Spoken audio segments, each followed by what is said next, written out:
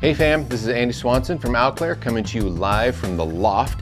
And I'm going to talk to you today about studio monitors and using in-ear monitors in the studio in particular. So there's a lot of, um, a lot of us are at home and we're recording or we're uh, doing podcasts, maybe we're doing video editing in situations that are maybe less than ideal in terms of sound. You know, maybe we're away from our studios or um, in, in my case, I'm in a loft and that might sound um, like sexy, but um, really it's not. It just means it's like the stair landing.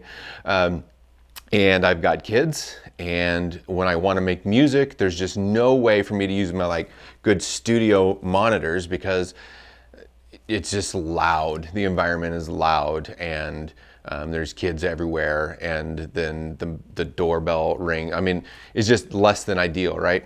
So in-ear monitors though are a really great tool because now I can go into my in-ear monitors and I can get the exact mix that I need. I can hear exactly what I need to hear. I can produce, I can do tracks, I can do my podcasting. If you're mixing a podcast, let's say, or you're video editing, this is a really great tool for that. Um, so I want to talk about kind of two separate things when it comes to studio monitoring.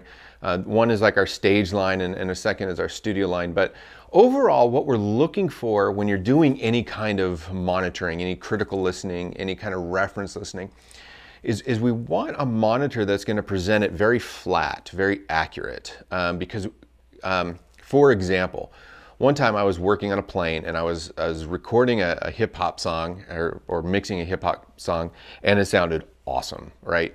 I was using my in-ear monitors. I had one set at the time and I came home and I was so eager to show everybody this, this bang, banging track.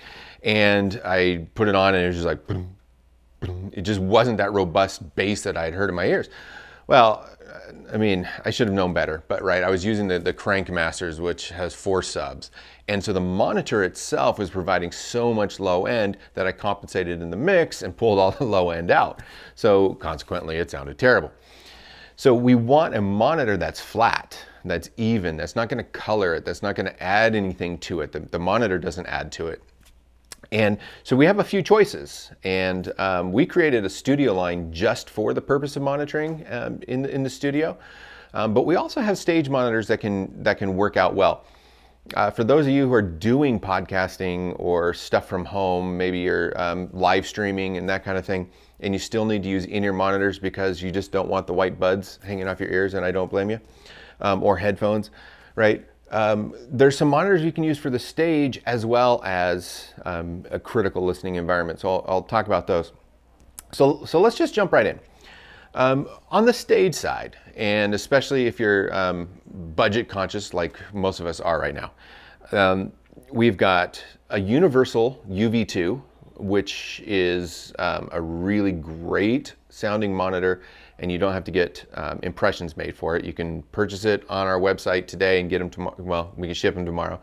Um, you can go with the Versa, which is fairly flat, fairly balanced, uh, pretty even. It has a little bit of a low end emphasis, but uh, you can kind of get around that.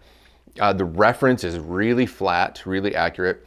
The reference does start to roll off the low end a little sooner than I would like to for reference mixing, but it can work in a pinch and work as stage and your reference monitoring. Really, the, the first one that does great at both is the RSM. The RSM is pretty balanced and even. It's very accurate. You're hearing a lot um, more clarity and detail than you do on some of the other monitors. It's got four drivers. It's got two low-end drivers, a mid and a high, so you got some great separation there. Um, and it works really great on stage as well. The um, RSM has a little, like a punchy low, you know, so it doesn't it doesn't color the low. It's not emphasized, but it punches punches through.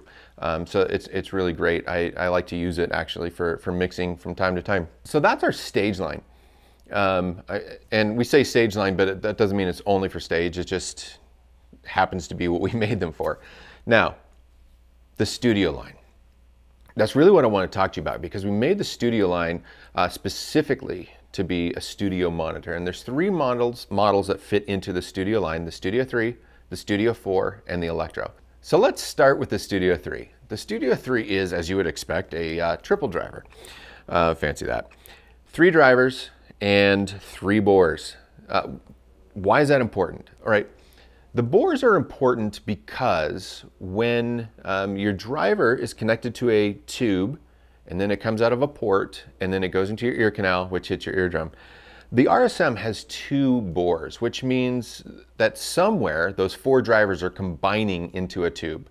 And so there's going to be some mixing happening in the tube, which can cause some distortion, some turbulence. Um, you don't really hear it as distortion, you, but where you would hear it as a subtle lack of clarity. So when we move to three ports for a three driver, you're getting all the clarity that you need because the sound is mixing in your ear canal, not in the tubes. Um, so it is really great for mixing. The Studio 3 is probably our most um,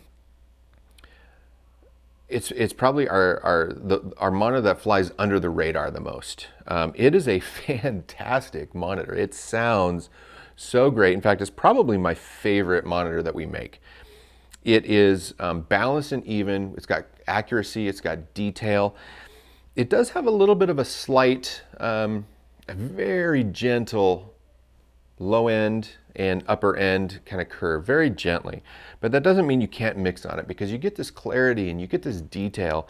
Um, they sound absolutely fantastic. They do come with our premium cable, which I'll talk a little bit about um, in just a moment. But the Studio 3, three bores, three drivers, fantastic first entry into our studio line.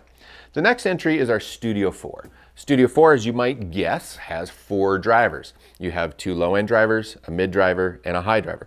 The two low-end drivers stuck together like that is important because it gives you more headroom.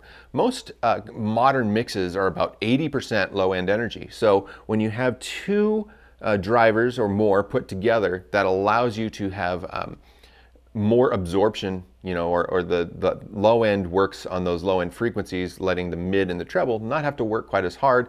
So you get more separation, you get more um, soundstage, you get more clarity, and you get more detail. The Studio 4 uh, has three bores because of that, because the two drivers are work, networked together. That's on one, in the mid, and the high. So you get a really, really accurate picture. Um, in fact, it, it's so accurate, it's like hyper balanced. Like super balanced.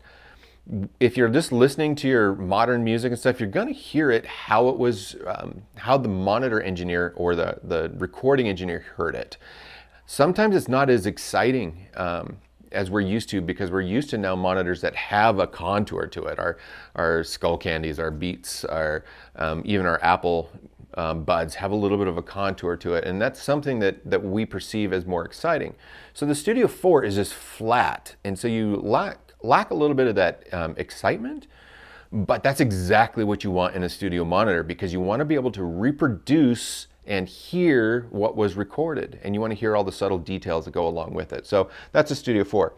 The next one is the Electro. The Electro, we were the first, Alclair was the first company to build a custom in-ear monitor with an electrostatic driver. So this baby has four balanced armature drivers and one, uh, two electrostatic drivers per ear. So what's the deal with electrostatic?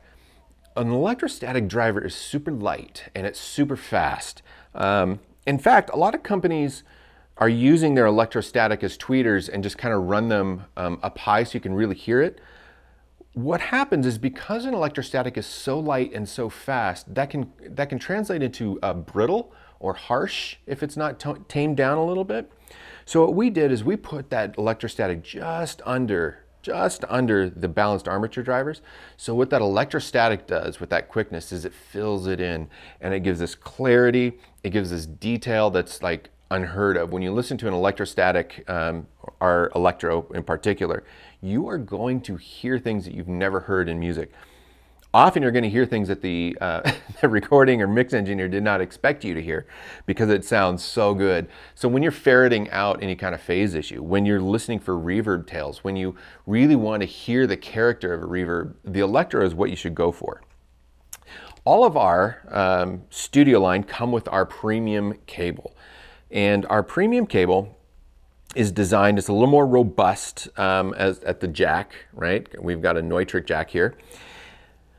What I would recommend if you were going to use any of our studio line uh, on stage, I would probably recommend getting one of our standard cables. Our standard cables have the ear hook where our premium cable does not. And why that's important is when you have Uh, in the studio, it doesn't matter so much. But when you're on stage, you want those ear hooks not only to kind of keep the cable in place, but also because that ear hook removes some of the stress from this jack point. And when, especially, let's say you're a drummer and you're moving all the time, you know, you are going to wear out that cable, you're going to wear out the jacks. A $30 um, replacement cable is not a big deal. That's what our standard cables run. And that's just the nature of touring, the nature of playing live is you're going to need to replace the cables. Much better to replace that cheaper cable than the more expensive premium cable. But the premium cable, what's the deal with it? Why is it important? Well, we designed the studio line with this cable um, in particular because this cable sounds fantastic. And here's why, uh, some of the reasons. One, it's a fully copper cable. It's, um, if you're really into the stats, it's, it's pure oxygen-free cable uh, with a Litz geometry. The Litz thing isn't actually pretty important, but um, what the cable is made of, this is made up of copper, uh, where our standard cables are made up of a tinsel. And the copper is a great conductor, so it just allows that sound to just, with very little impedance, go straight to the in-ear monitors. Another thing is the Litz wire reduces what's called the skin effect. The skin effect is uh, frequencies have a tendency to hover towards the outside of a strand, outside of a cable when they're going down the path. And the higher the frequency, the more likely they are to, to hover on the outside. That doesn't happen with Litz wire. So with a standard wire that has that skin effect, you are going to have a different, um, it's almost immeasurable impedance differences, but there is a difference. With a Litz wire that largely goes away, and so um, you're really getting things clear without having the cable interrupt or um, color the sound at all. So with this premium cable, you get detail, you get clarity, you get this um, separation. Uh, th things are tighter. It's, it's kind of hard to describe, but if you listen to one and then you listen to the other, the, the standard cable, and then you listen to the premium cable, things are just tighter and uh, fuller. So it's, it's really cool. It's a great um, cable to be sold with this studio line. So using the Electro or the Studio 3, you're going to hear things that you haven't heard before in your in your songs. Like for example, I'll use um, 21 Pilots "Heathens," and there's that part you know towards the the end where it's and it just sounds like this big guitar piece. But when, when you start listening to it with the studio line, you hear the layers. You hear that there's some vocal in there and some guitar in there and some other distorted effects that are going. You can hear all those things. I'll use Pearl Jam's Smile because I can hear the spring reverb. And it just, you can tell that it's a spring reverb, not just that it's a reverb. You can tell it's a spring reverb. You can tell that it's coming from the amp. It's just really cool that way. Um, some other songs, if I'm listening for the low end, I'm going to listen to like Don't Let Me Go by Chainsmokers or Wow by Beck. It just has that boom. Or uh, let's see what else. Uh, for acoustic stuff, you know, I'm going to listen to Go Your Own Way by Fleetwood Mac. I'm going to use Big Chair by Travis. I'll use uh, Feeling Good by Nina Simone or A Knucklehead by Grover Washington Jr. Oh, you're just getting this great feel for how those instruments play together and you can really tell a lot about a monitor from that. The reality is most people aren't going to have a chance to try out monitors, so you're going to have to kind of go on what we say and what we how we describe them. So find something that works best for you, something that um, you know is going to fit what you're playing or what you're doing well. And uh, on our site, we try to describe it that way so that you get a good example, not just of what it's supposed to do, but how you're supposed to feel, what it's supposed to do for you. All right, so that's it, guys. Um, if you have any questions, comments, leave them below. You can hit us up on Twitter, Facebook, Instagram, ask us anything. Hit us up on email. Give us a call. We're happy to answer any questions that you have. We're here for you. We want to um, respond as best we can, whatever questions that you've got. Um, we want to be a small part of what you do. Uh, when you do what you're called to do, you're going to inspire others to do what they do. And when you inspire others to do what they do, then they're going to inspire others to do what they do, and so on and so forth. We're just excited. We're just excited to be a part of, of what you're doing. So that's it for now. We're going to do a few more of these, so keep on the, the lookout for them. We'll talk to you soon. All right, thanks, guys.